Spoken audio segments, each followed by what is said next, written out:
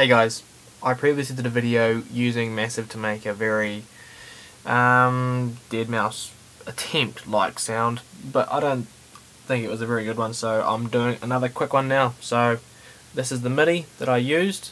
Um, I've actually got that on three octaves and a, um, a note in there as well. Looks like. I'm using Massive, obviously. It's a stereo, so that's very important. Just a blank sound, this is what we've got. Just mute that. So this is the default patch. This is how you want to make his sound.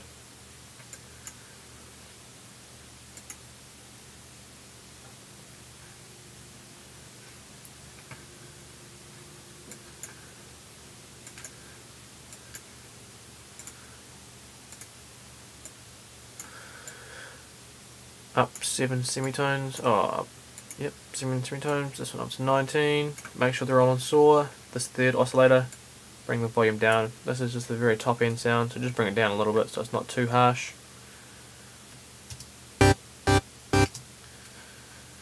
Okay, that's pretty much, that's the main part done, you've got to just get the voicing, turn on your pan position on, turn that on to make it a bit wider and stuff like that, and you've got to get these oscillators just like I've done there, low 4 resonance down. Um, now then this is the key. This part right now routing the envelope to the filter. Just click on the crosshair drop it in to this box here. Bring the cutoff so it sort of points just left of the C. Click and hold 1 drag up. That gets you that blue line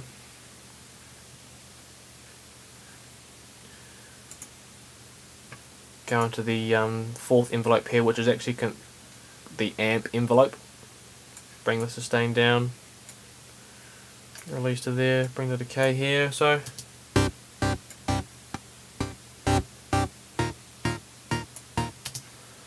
Go back to the envelope one.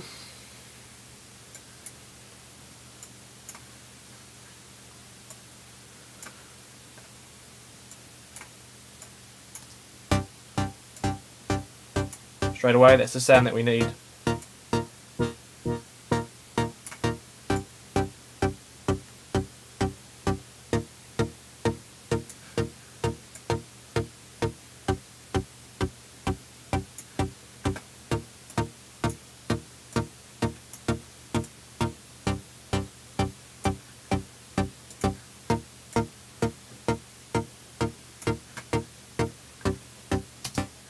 Pretty much it. Give it some uh, give it some small reverb.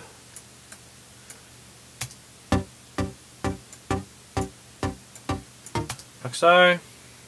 What you can now do is to control um, a few parameters to get that the deadmau5 type build. Use these macros down here. Click on the crosshair, go to the filter, again drag it up. Crosshair. This is on the fourth envelope. Go to the release put it to about there. Go to the macro on the decay. About there. Click on the first envelope and we'll also route this to the decay here. Now then, this is what happens when you control this one knob. It controls all of those that we just set.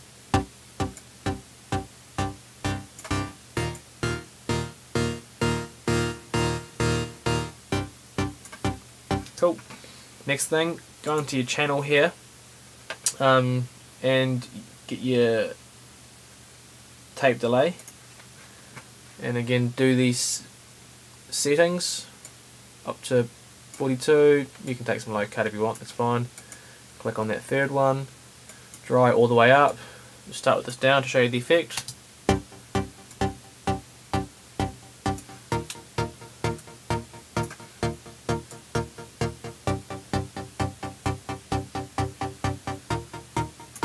And again, one more thing to make it a bit wider if you want, it's up to you. Go sample delay. Put that to 385, put the, the bottom one to 385. make it some, make it wider.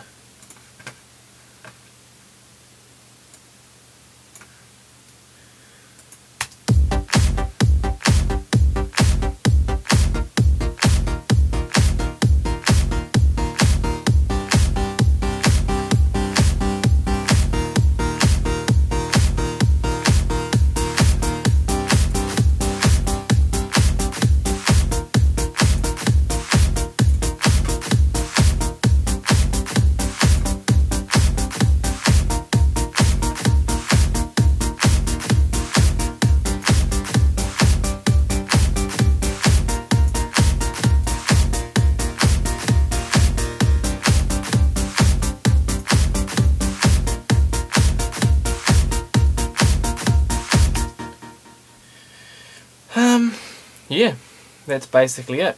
If you've got any questions, feel free to ask me, and I'll get back to you real soon. Thanks.